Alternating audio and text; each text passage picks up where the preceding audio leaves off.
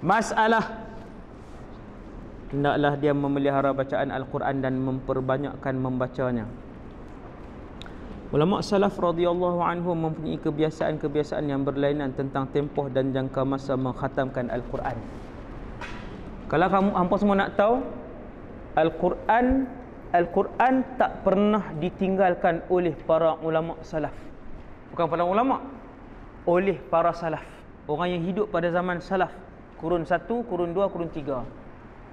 Tinggal Quran. Bukan ulama dia nak ni rakyat biasa ni, rakyat biasa ni pun semua hidup dengan Quran. No? Pada zaman tabi'in, pada zaman tabi'in bila mai bulan Ramadan, mai bulan Ramadan di masjid khatam Quran tiga hari sekali di masjid. Bukan ulama, di masjid.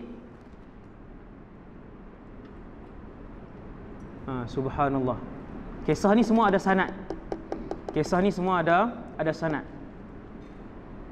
Ha. So dahsyatlah orang dulu dengan Quran sangat sangat sangat hebat. Ha? sangat hebat. Ibnu Abi Daud meriwayatkan dari sebahagian ulama salaf radhiyallahu anhum bahawa mereka mengkhatamkan Al-Quran sekali dalam setiap dua bulan. Ada sebahagian khatam sekali dalam setiap dua bulan. Yang ini bukan bukan Ramadan. Biasa-biasa ni.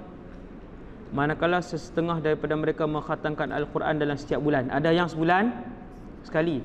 Quran ni terlalu hidup pada zaman dulu. Terlalu hidup. Semua orang pegang Quran. Semua orang baca Quran. Zaman salaf lah. Kurun pertama kurun kedua dan kurun ketiga. Bukan ulama dia. Orang biasa. Orang biasa pun. Subhanallah nah. Dahsyat ha, orang biasa dia ada seorang ada seorang ulama salaf, dia ulama. Dia kata bila dia berjalan kaki subuh sebelum subuh nak pi ke Masjid An-Nabawi falam amurra baitan minal buyut illa wa fihi qari'unil Quran. Ada seorang ulama salaf, dia berjalan sebelum subuh nak pergi ke Masjid Nabawi. Dia kata tak ada satu rumah pun yang aku lalu kecuali di dalamnya pasti ada yang sedang membaca Quran. Semua rumah. Semua rumah. Lalu rumah ni orang semua semua baca Quran. Quran ni dahsyat. Zaman salaf Al-Quran sangat hidup. Kita kita ni yang nak bawa balik bendera Quran kena hidupkan benda ni. Hidupkan benda ni apa dia? Sunnah membaca Quran. Dalam rumah kita hari ni kalau ada enam orang, pastikan enam-enam semua baca Quran. Mak kita, ayah kita, adik kita, kakak kita, abang kita pastikan semua menyentuh dan membaca Quran setiap hari. Kena hidupkan benda ni. Macam mana? Mula dengan diri kita dulu. Mesti mula dengan kita dulu. Bila balik, cuti, balik ke apa, hidupkan baca Quran. Duduk kat ruang tamu, kita baca. Waktu lepas tengok buka Raja Lawak tu kan, betul-betul duduk depan TV. Okay. A'udzubillahi minasyaitanirrajim. Jadi depa mak kita tengok ni tepi sikit. Nak, nak tengok sinetron ke apa kan. Dan ni banyak daripada pagi sampai ke, ke malam mati dengan tengok TV. Mati dengan tengok TV. Macam-macam gamak tak putih-putih. Hidupkan Quran dalam rumah kita. Bagi setiap ahli, ahli rumah kita bagi dia perkenal Quran. Kita no? jangan cakap pandai saja kan? Cakap pandai diam tak tak pegang Quran pun. Kan? Ha, lagi payah tu. Setengah daripada mereka mengkhatamnya sekali dalam 10 malam. Yang tengok ah tengok ah perangai perangai orang dulu. Perangai orang-orang Islam pada zaman salaf Sebahagiannya 10 malam sekali khatam Quran. Dan setengahnya mengkhatamkan setiap kali dalam setiap 8 malam. Ramai daripada mereka mengkhatamkannya pada setiap 7 malam. Antaranya sahabat ramailah. Antaranya Abdullah bin Umar. Abdullah bin Umar mengkhatamkan Quran pada setiap minggu. Setiap minggu. Jumaat dia akan khatam. Jumaat dia akan khatam. Jumaat dia akan khatam 30 juzuk, 30 juzuk, 30 juzuk, 30 juzuk. Sayyidina Ibn Umar. Dan apabila Ibnu Umar habis baca Quran, khatam, dia akan buat kenuri. Dia akan buat majlis. Tengok, cuba tengok eh, para sahabat eh. Mereka buat benda. Mereka buat majlis. Bid'ah kan tak bid'ah? No? Ha. Tak bid'ah pun. Hmm. Tapi kalau Wahabi dia kata apa? Ah, Wahabi kata bid'ah, haram, syirik. Sahabat buat kenuri. No? Abdullah bin Umar akan buat kenuri mengkhatam Al-Quran pada setiap minggu dan tahu tak siapa yang dia panggil? Kanak-kanak sahaja. Lagi pelik. Lagi bid'ah. Kan? Dia panggil kanak-kanak ya. Ibnu Umar. Tahu kenapa kanak-kanak? Ha, itu cerita panjang, no? Sayyidina Ibnu Umar apabila dia khatam Quran, dia akan buat kenuri, panggil orang mai makan, kemudian baca doa khatam Quran. Baca doa khatam Quran. Hak ni, hak ni Wahabi sendiri ada yang kata haram, ada yang kata harus. Kan? Ha, dia sendiri pun pening, no? Ha, hak ni mengkafirkan hak ni, hak ni mengkafirkan hak ni ulama-ulama dia sendiri. Ha, itu ke, ke, ke, kecelaruan fiqh wahabi. Kan? Ha, kena tulis tu, kitab tu. Ha? So, ustaz mana yang kosong kan? Kecelaruan fiqh wahabi. Ada banyak, ada 2-30 pendapat kecelaruan fiqh wahabi. Kunut antaranya. Okey. Jadi Ibnu Umar setiap minggu dia khatam Quran, dia akan buat majlis kenuri baca. Sebab apa?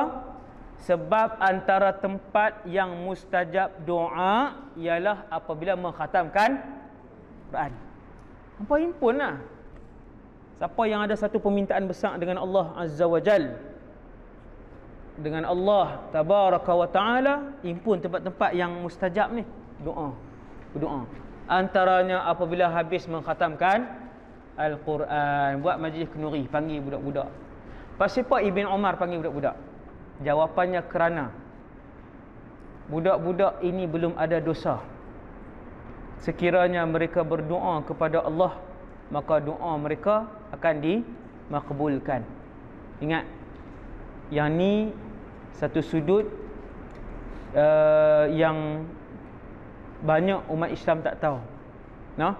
Kalau buka kitab sirah dan syama'il, kita akan boleh lihat kaifa ta'amala Ar-Rasulul A'zam Rasuluna Al-Karim Muhammad ibn Abdullah bil atfal. Muamalatul rasul ma'al atfal. Bagaimana Rasulullah bermuamalah dengan kanak-kanak? Boleh tengok dalam sirah sangat hebat. Nabi sangat uh, memuliakan kanak-kanak. Nabi layan kanak-kanak nabi layan. Yang tu pun boleh karang no?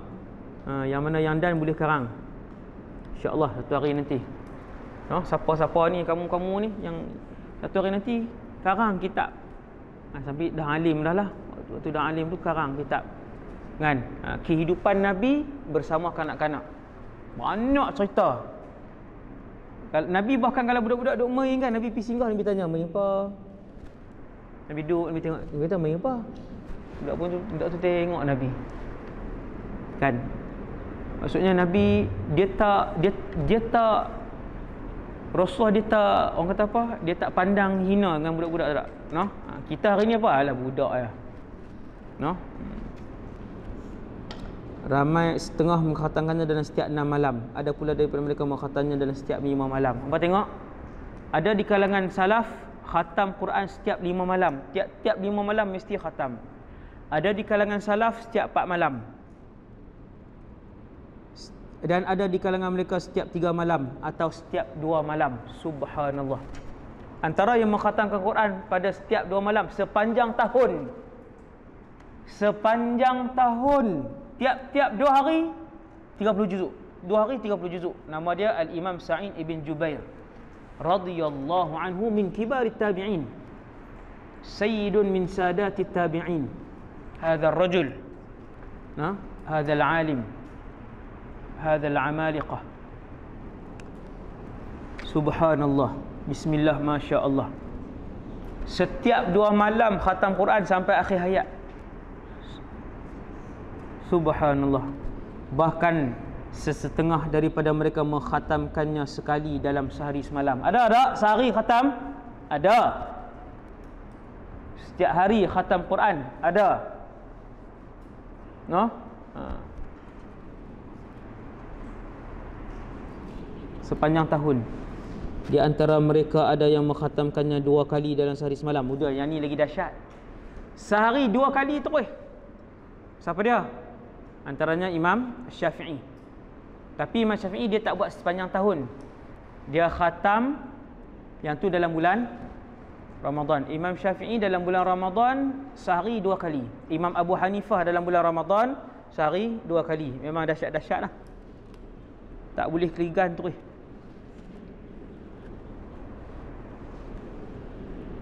Lapan kali iaitu empat kali bahkan setengah daripada mereka mengkhatamkannya lapan kali iaitu empat kali pada waktu malam dan empat kali pada waktu siang. Hak ni habis terus. Di antara orang yang mengkhatamkan Al-Quran sekali dalam sehari ialah Sayyidina Uthman ibn Affan radhiyallahu anhu. Tamimun Dari Sa'id ibn Jubair Mujahid Syafi'i dan yang lain.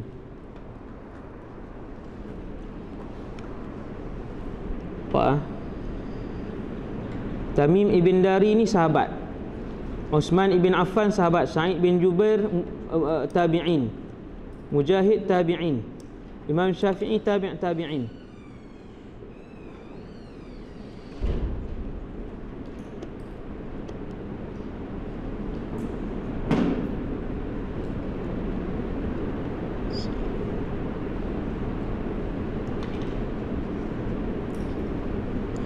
di antara orang-orang yang mengkhatamkan tiga kali dalam sehari. Tiga kali pun ada? Ya. Siapa dia? Salim ibn Umar kan Sali Salim. Salim ibn Umar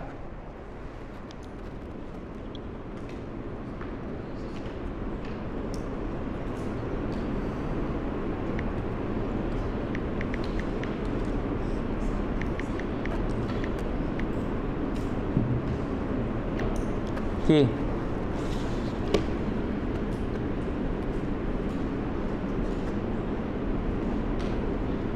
Salim ibn Abdullah bin Umar. Kau ni Salim bin Umar saya tak tahu. Ada seorang ulama besar Salim bin Abdullah bin Umar, cucu Sayyidina Umar. Tiga-tiga ulama besar Sayyidina Umar, anak dia Abdullah, cucu dia Salim. Ini saya tak pasti. Hak ni Salim bin Umar ke apa. Tapi hak ni hak tiga orang tu ketiga-tiganya ulama besar dalam dunia Islam termasuk Sayyidina Umar. Ya, Sayyidina Umar bin Khattab jelah. Sayyidina Umar ada anak nama Abdullah pun alim macam macam ayah dia. Dahsyat ilmu yang sangat dahsyat. Abdullah ada ada anak nama Salim pun dahsyat seperti Tok Wan dan ayahnya. Ahad fuqaha as-sab'ah fil Madinah ahadu fuqaha is-sab'ah fil Madinah. Salah seorang daripada tujuh yang terfaqih yang berada dalam Madinah Al-Munawwarah. Nah, subhanallah. Diriwayatkan bahawa Abu Bakar bin Daud radhiyallahu anhu mengkhatamkan Al-Quran tiga hari dalam semalam. Diriwayatkan oleh Abu Bakar Al-Kindi dalam bukunya berkenaan dengan Qadhi Mesir bahawa dia mengkhatamkan Al-Quran empat kali semalam no? Cerita lepa ni macam kita baca hari ni jadi macam cerita dongeng. Sebab apa cerita dongeng? Cerita tu cerita benar. Tapi apabila cerita benar yang hebat itu dibawa pada zaman orang yang nipis iman zaman ustaz dan zaman kita semua. Apabila cerita orang hebat yang dulu dibawa pada zaman hari ni orang hari ni yang lemah iman kata apa? Macam cerita dongeng je. Kenapa dongeng? Sehari empat kali khatam Quran Ha, no sebab kali. Eh, tak masuk akal, tak masuk akal. Tak masuk akal kamu sebab kamu hidup pada satu zaman yang lemah iman. Tak masuk pada akal kamu sebab kamu semuka Quran pun tak baca pada zaman ni. Sebab tu tak masuk akal. No? Ini orang panggil cerita-cerita dongeng yang benar. Kan? Dongeng yang dalam kurungan lah. Cerita ni cerita benar. No? Hmm. Al-Syeikh As-Salih Abdul Rahman As-Salami radhiyallahu anhu berkata, Aku mendengar Syekh Abu Uthman Al-Maghribi berkata, Ibnu Khatib radhiyallahu anhu mengkhatamkan Quran empat kali pada waktu siang dan empat kali pada waktu malam. Subhanallah. Beli ubat. Belilah, makan ubat. What? Beli makan. Nak makan nasi lu. Dia boleh tadi dah hantar makan dah dua kali dah pagi ni makan. Pagi ni dah dua makan dua kali. Jadi perut dah ada sesuatu. Beli makan ubat. Ikut apa?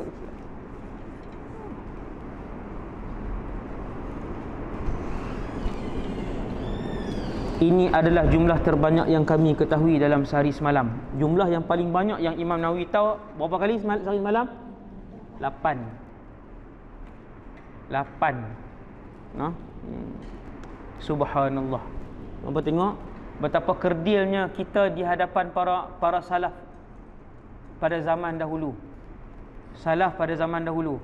Bukan para ulama dia nah, orang biasa. Bahkan bahkan termasuk sebahagian pimpinan oh, kerajaan perdana menteri dulu. Perdana menteri dahulu perdana menteri dahulu saya tak ingat nama apa salah seorang perdana menteri umat Islam Amirul Mukminin. Zaman dahulu zaman salaf no? Mengkhatamkan al-Quran pada setiap 4 hari. 4 hari sekali khatam. Oh, yang tu perdana menteri dia. No? Ha, bukan pemimpin zaman dulu zaman salaf diriwayatkan oleh As-Said Ahmad Ad-Dawraqi dengan isnadnya dari Mansur bin Za'zan radhiyallahu anhu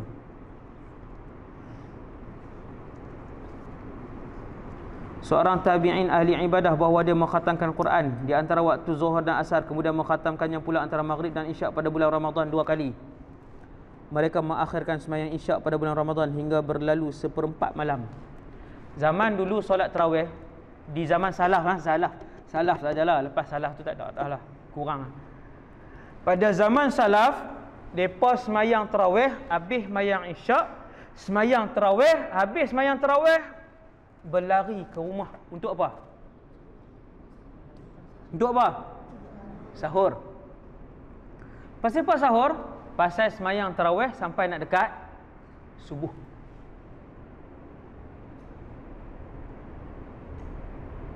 sebab depa solat tarawih sampai hampir subuh sekira-kira 40 minit sebelum subuh pakak keluar daripada masjid waktu tu lari pakak lari sebab sebab apa nak bersahur sebab subuh nak masuk dah Oi, pukul berapa tu tarawih tu? Pukul berapa tarawih? Kita 10 pun duduk atas kursi dah. Bukan 10 duduk atas kursi. Pukul 10 tu duduk minum ayak dah kat luar dengan kuih more curi kuih more. Orang kata jangan ambil lagi sat tunggu semua orang habis bihun-bihun apa cedok dah. Ni dia geng hak 8 rakaat ni. Tengok kat dalam tak habis ke depa tu mayang lama tu. Geng 8. Tak geng 8 ni keluar awal. Cedok bihun. Cedok. Subhanallah. Sebab tu kena baca kehidupan ulama salaf bagaimana mereka beribadah kepada Allah Bagaimana mereka menyatakan kehambaan kepada Allah? Bagaimana mereka membuktikan kecintaan kepada Allah? Baca. Baca kisah hidup mereka, baru kita rasa semangat untuk tiru macam tu. No? Terawih daripada pukul 9, habis mayan Jum eh, Jumaat pula. Habis mayan Isyak tu, 9, kamu bayang tengok lepas terawih, 10, 11, 12, 1, 2, 3, 4, Terawih 7 jam terawih kita duduk kalut apa? kita duduk kalut terawih 8 ke 20 yang buat 8 kata 20 20 bina'ah hak buat 20 kata 8 bina'ah yang tak bina'ah siapa? hak tak semayang terawih tu hak duduk di kedai kata biar pilih lepas berkelai." kan baik tak payah pergi semayang duduk berkelai ya. kena kopi O bagus lagi ni dia kopi O duduk mengindam kan? Hak geng masjid buat apa?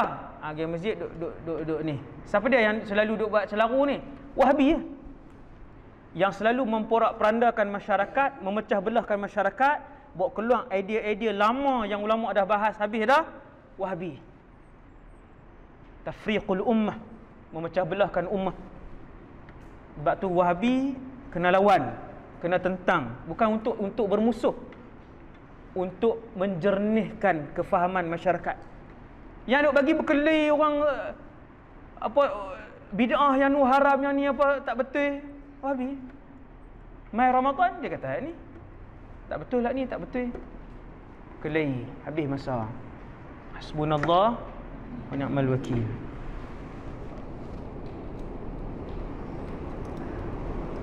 Dah walhamdulillahirabbil alamin. Kita tutup dengan تسبيح كفارة سبحانك اللهم وبحمدك. أشهد أن لا إله إلا أنت. أستغفرك وأتوب إليك. إن الإنسان لفي خسر إلا إلا الذين آمنوا وعملوا الصالحات وتواصوا بالصبر